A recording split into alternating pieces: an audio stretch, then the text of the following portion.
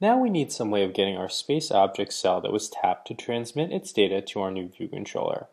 How do we do this? Well, ever since iOS 5, there's been a method that can accomplish this feat.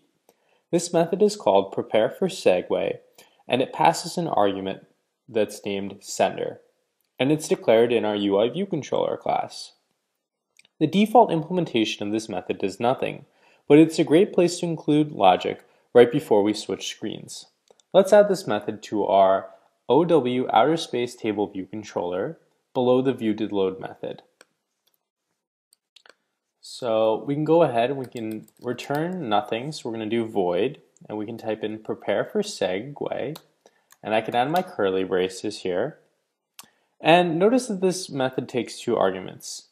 We first get the argument of the segue and the second argument is ID sender. So what is ID? Well, ID means a pointer to any type of object. So that includes things like NSArray, UI view controller, UI label. Any object that we've seen so far, or any object in Objective-C, can be of type ID.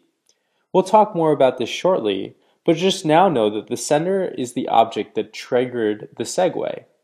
In our case, it will be a UI table view cell that is passed as the sender's argument. Notice that this can be a different object under different circumstances. For example, if we had a screen with a button on it, and when we press the button, we went to a different screen or we segued to a different screen or view controller, we would pass UI button in as the sender, and it would be the type of the sender. Let's see exactly when this method is called and what the sender's argument is. Let's go ahead and add a line of code inside of prepare for segue.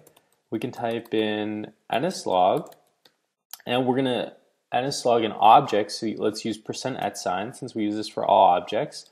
And let's nslog our sender argument here. So we can go ahead and run our application.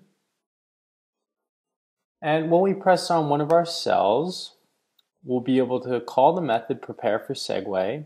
And we see here that the object that prints out is a UI table view cell, and the text was earth because we pressed the earth row.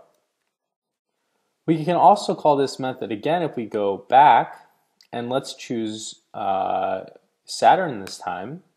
And we see again that this method gets called and this time the text is Saturn.